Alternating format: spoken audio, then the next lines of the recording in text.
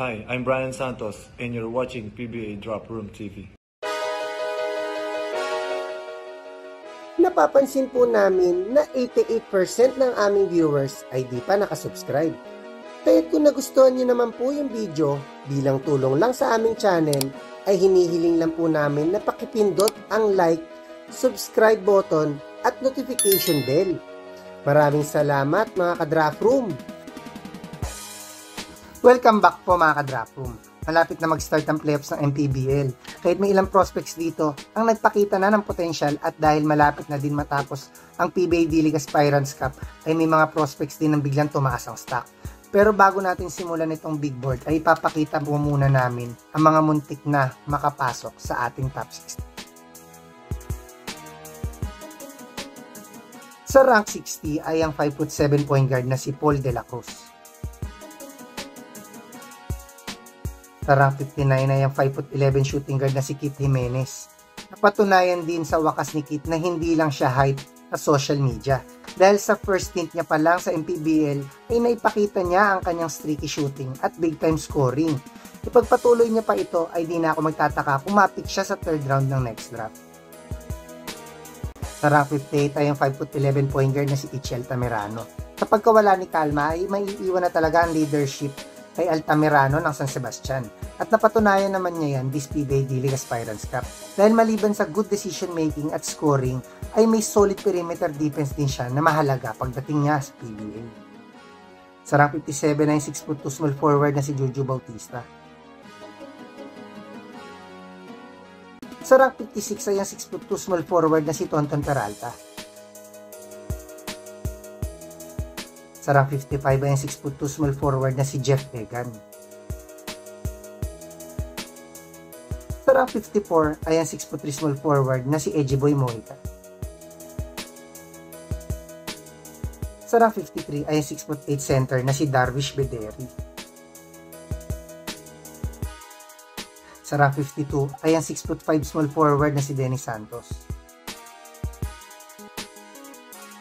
Rock 51 ay ang 6 foot 5 power forward na si Brian Santos.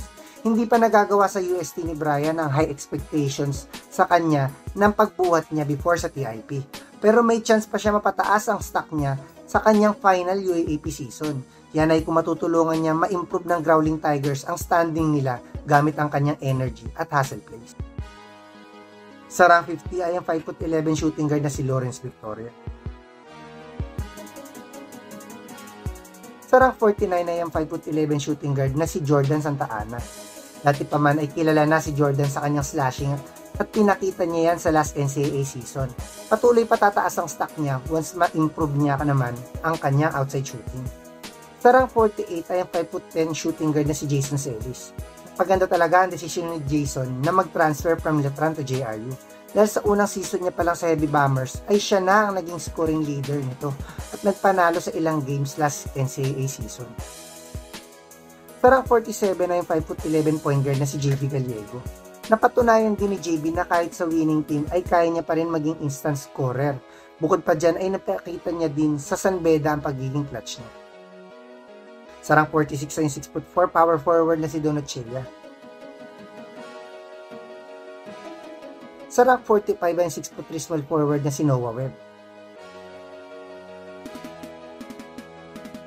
Sa rank 44 ay 6'4 power forward na si Ray Bienes. Sa rank 43 ay 6'4 power forward na si Zach Wang.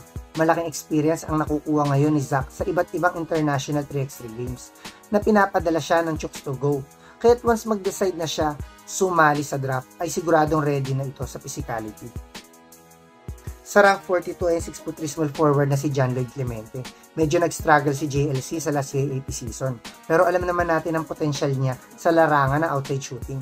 Kahit for sure ay makakabawi siya next season at mapapataas uli ang kanyang draft stock. Sa rank 41 ay 6'2 small forward na si Kim Aurin.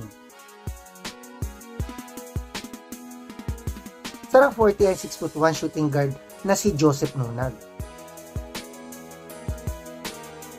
Sarang 39 na yung 5'10 shooting guard na si Jolo Mendoza. Nagkaroon naman ng decent last season sa Ateneo si Jolo. Pero mas efficient pa ang shooting niya ngayon sa MPBL na malaking bagay para tumaas pa ang stock niya. Sa rank 38 ay ang 6'6 center na si J. Boy Cobb. Sa rank 37 ay ang 5'9 point guard na si Tommy Olivario. Kahit bilang second unit point guard ay si Tommy pa din ang naging main facilitator ng Knights na naging malaking tulong sa kanilang back-to-back NCAA championship. Rank 36 ay yung 6'4 power forward na si J-Boy Solis. Halos lahat ng amateur leagues na nilalaroan ni J-Boy ay nag standout siya sa depensa. Kaya di na ako magtataka kung siya ang maging top defensive player sa class na ito. Sa rank 35 ay 6'3 small forward na si James Spencer. Malaki ang tinaas ng stock ni James dahil sa mga clutch plays niya sa last UAAP season. Mas tataas pa ang stock niya kung magiging regular starter na siya ng Fighting Maroon sa next UAAP season. Sa rank 34 ay yung 5'11 point guard na si Joshua Puntanilla. Sa pagbabalik ni Joshua sa PBA D-League para sa team ng St. Clair, ay patuloy niya pa din nagagawa ang kanyang high-level playmaking at scoring. Ipagpatuloy niya lang ito ay di na ako magugulat kung makuha siya sa second round ng next draft. Sa rank 33 ay ang 6'6 center na si Dami Contapay. Malaki ang tinaas ng stock ng mga center sa NCAA nang nawala ang mga imports. Isa dun si Dami na mas naipakita ang rebounding at outside shooting sa last NCAA season. Sa rank 32 ay 6'1 point guard na si Ralph Penuela. Sa kauna-unahang season pa lang ni Ralph ay naging solid contributor at playmaker na siya para sa Red Lions. Bukod pa dyan ay siya din ang regular starting point guard ng San Beda. Sa rank 31 ay ang 6'6 center na si Henry Galinato. Dominante si Henry sa ilang preseason games ng UP Kaya't kung madadala niya ang ganitong performance sa UAAP ay posibleng mapick siya kahit sa late first round. Sa rank 30 ay 6'8 center na si Luis Salgado. Di pa natin nakikita maglaro si Luis. Pero kung mabuhat niya ang UE sa kanyang lone season sa UAAP at ma-improve ng malaki ang standing nito ay di na ako magugulat kung mapick din siya sa first round. Sa rank 29 ay 6'2 shooting guard na si Brent Paraiso. Kilala si Brent sa pagiging 3 player pero sa last NCAA season at PBA D-League Aspirants Cup ay naipakita niya ang kanyang improvement sa slashing at shot creating na talaga nagpataas ng kanyang drop stock. Sa rank 28 ay 6'5 power forward na si Matthew Daves. At last ay napasama na si Daves sa main rotation ni Coach Tab. Pero kung siya na ang magiging starting power forward ng Ateneo sa next UAAP season, ay malaki talaga ang itataas pa ng stock niya. Sa rank 27 ay ang 6'7 center na si Christian Bunag. Medyo hindi magandang desisyon ang pag-skip ni Christian sa kanyang final season sa NCAA. Lalo pa at nakapasok ito sa finals. Pero may chance siya pataasin pa rin ang stock niya sa MPBL. Sa rank 26 ay ang 6'4 power forward na si Arvin Gamboa. Patagal nang kilala si Arvin sa kanyang inside and outside game. Pero sa last NCAA season ay napakalaki ng tinaas ng stock niya dahil sa laki ng in-improve na overall game niya. Sa rank 25 ay 6'5 power forward na si JB Bayo. Nakuha din ni JB ang starting power forward spot ng Red Lions at naging regular contributor nito sa ilalim. Pero kung matutulungan niya ito makuha ang kampyonato next year ay malaki ang tataas pa ng draft stock niya. Sa rank 24 ay 6'5 small forward na si AJ Benson.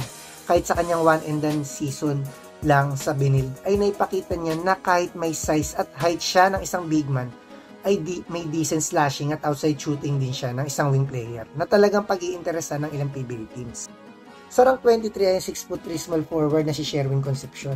Grabe ang tinaas ng stock ni Sherwin dahil maliban sa pagkaka-invite sa kanya ng Gilas at pagkaka-champion sa UAAP 3x3 at pagkuha din niya ng finals MVP, MVP dito, ay naging well-rounded na ang laro niya sa PBA D-League. May game pa nga na naka-triple-double siya sa rank 22 ay 6-foot shooting guard na si BJ Andrade. Si BJ na siguro ang most improved player ng Blue Eagles sa season. Lalong tataas ang drop stock niya kung matutulungan niya ang Ateneo maibalik ang kampyonato bilang starting shooting guard ng Ateneo. Sa rank 21 ay yung 5'11 point guard na si Franyu. Last drop pa lang ay medyo PBA ready na si Fran. Pero dahil sa paglalaro sa iba't ibang amateur leagues at pagka back-to-back champion sa Letran ay talagang naging PBA ready na siya. Sa rank 20 ay 6 foot shooting guard na si DJ Mitchell. Si DJ na siguro ang pinakaabangang one and done prospect sa UAAP ngayon. Dahil rin ito sa pagiging legitimate outside shooter niya sa isang NCAA US Division 1 school. Kaya't mat kung matutulungan niya lang mag-champion ng Lasal sa upcoming UAAP season, ay most likely maging first rounder na siya. Sa rank 19 ay ang 6'1 shooting guard na si Deshaun Winston. Isang season pa lang ang nalalaro ni Shoney sa UAAP. Pero marami na agad na nakapansin ng kanyang high basketball IQ at court savviness. Kung sumali na nga siya sa last draft ay baka sa late first round ay nakuha na siya. Sa rank 18 na yung 6'4 small forward na si Rafi Berano. Unfortunately ay di nag-champion ng Blue Eagles sa final year ni Rafi. Pero kung may malalaruan pa siya bago ang draft ay may possibility pa din ma-drop siya sa late first round. Sa rank 17 na yung 6'9 center na si Matakino. Kahit sabihin natin wala halos playing time si Matt sa Japan B-League ay malaking experience pa din ito na magagamit niya once maglaro na siya sa PBA. Sa rank 16 na yung 6'4 power forward na si Warren Bonifacio. Grabe din ang laki ng tinaas ng stock ni Warren dahil sa laki ng in-improve ng kanyang physical game. Lalong tumaas pa yan dahil kahit siya ay undersized sa center position sa NCAA ay nakakasabay siya sa mga gaya nila Justin Arana at Gio Ambohot. Sa rank 15 na yan 6'8 power forward na si Kit Datu. Kung nakasali na sana si Kit sa last draft ay surefire first rounder na siya. Pero may chance pa siya masolidify ang pagiging surefire first rounder kung may malalaruan man lang siya bago ang draft. Sa rank 14 ay ang 6'8 center na si Brandon Bates. Sa Lasal pa lang ay nakilala na si Brandon sa pagiging reliable interior defender at rebounder. Kahit kung biglang sumali na siya next draft ay di na ako magtataka kung may kumuha sa kanya sa late first round. Sa rank 30 na yung 6'2 shooting guard na si James Kwekutey. Maganda naman ang nilaro ni James sa last NCAA season. Pero dahil di sila nakapasok sa finals, ay di masyado tumaas ang stock niya. Pero kung mapag-champion niya ang Beda next season, ay malamang kahit sa mid-first round ay makuha na siya. Sa rank 12 ay ang 6'4 small forward na si Ken Taffin. Medyo matagal na din naglalaro sa Pinas si Ken. Pero kung sumali na siya sa next draft, ay malabong palagpasin pa din siya ng mga PBA team sa first round dahil rin sa kanyang experience sa NBL New Zealand. Sa rank 11 ay yung 6'9 center na si Ken Mark Carino. Di rin masyado nabigyan ng exposure si Kenmark sa B-League. Pero ngayon na naipakita niya na ang taas ng potensyal niya sa depensa sa PBA D-League para sa marinerong Pilipino, ay talagang tataas ang kanyang drop stock. Sa rank 10 na yung 6'6 power forward na si Will Gosum, napaganda talaga ang desisyon ni Will ng paglipat sa Binil. Dahil sa unang season pa lang niya dito ay naging part na siya ng Mythical 5 ng NCAA. Sa rank 9 na yung 6'3, small forward na si Justin Gutang. Last drop pa lang ay PBA ready na si Justin at bako nakuha pa sa top 5 pick. Pero kahit malalim ang magiging susunod na draft ay surefire first rounder pa din siya. Dahil sa laki ng tinaas ng value niya sa pagkaka-MVP sa Philbasket. Sinama pa din namin siya sa list na to dahil one season lang ang sinay niya sa KBL at malaki pa din ang chance niya sumali sa next draft. Sa rank 8 ay 6'1 shooting guard na si Richie Rivero Nakabawi si Richie sa last AP season dahil bukod sa nakuha niya ang kampyonato ay isa rin siya sa naging key players ito. Sa rank 7 na yung 6 foot 1 point guard na si Juan Gomez Deliano. Hindi masyado maganda ang kinahantungan ng Japan B-League stint ni Juan. Pero this PBA D-League Conference ay malaki ang tinaas ng stock niya dahil halos i-dominate niya lang sa lahat ng aspeto ang mga kanyang mga defender sa PBA D-League. Yet most likely ay top 5 pick na siya next draft. Sa rank 6 ay ang 6 foot 6 small forward na si Kobe Paras Kakasayin lang uli ni Kobe sa isang Japan B-League team. Kahit kung dito ay makabawi siya at matulungan ito maging winning team, ay pwede na siya i-consider sa top 3 pick sa next draft. Sa rank 5 ay ang 6'6 power forward na si Xavier Lucero. Sa unang season pa lang ni Zab sa UP ay nagtingay na agad ang pangalan niya dahil sa mga hustle plays at highlight reels. Isama mo pa na isa sa main reason ang mga energy plays niya kung bakit nila nakuha ang kampyonato. Sa rank 4 ay 6'2 shooting guard na si Renza Bando. Sa UST pa lang ay kinoconsider na siya as a future star. Pero ngayon na napag-champion niya ang Letran at siya din ang NCAA season MVP, ay mahirap na siyang palagpasin sa top 5 pick. Kasama din namin siya sa lista to dahil one season lang din ang sinay niya sa KBL. Sa rank 3 ay ang 6'7 center na si Justin Baltasar. Kung sumali na si Balti sa last draft ay sure par top 3 pick na siya. Pero kung patuloy pa mag improve ang overall game niya sa Japan ay dapat talaga i-consider na din siya sa top pick next draft. Sa rank 2 ay 6'2 shooting guard na si Cedric Berfield. Dahil ni Balti ay surefire top 3 pick na din sana si Cedric sa last draft. Kundi lang siya na disqualified.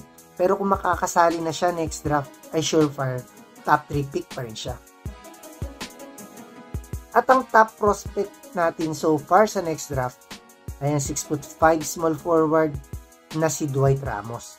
Bira ang mga prospects na kahit anong drafts class sumali ay pwede i-consider as top pick.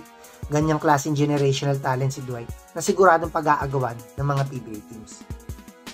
Once mag-start na ang NCAA at UAAP ay makikita na natin ang mga one and done prospects at mga graduating players na pwede rin tumaas ang mga draft stock. Hanggang sa susunod na lang mga ka-draft room.